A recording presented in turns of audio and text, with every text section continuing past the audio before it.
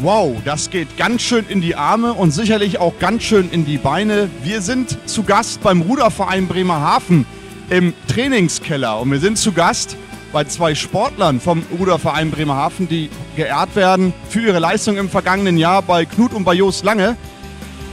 Ich muss schon sagen, Knut, das sieht gut aus, das ist hartes Training und äh, definitiv ist das nichts für Weicheier.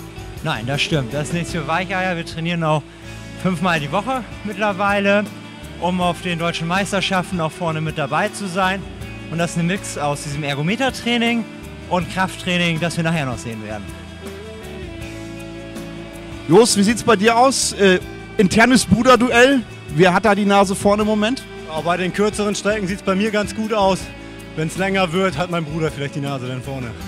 Bremerhaven, ist das so eine typische Ruderstadt, kann man das sagen? Oder hat das hier so ein bisschen provinziellen Charakter in Bremerhaven? Seid ihr nicht so anerkannt, wie ihr euch das vielleicht vorstellen würdet? Nee, der Rudersport hat in Bremerhaven schon eine hohe Tradition äh, und auch viele Erfolge, auf die wir in der Vergangenheit zurückblicken können.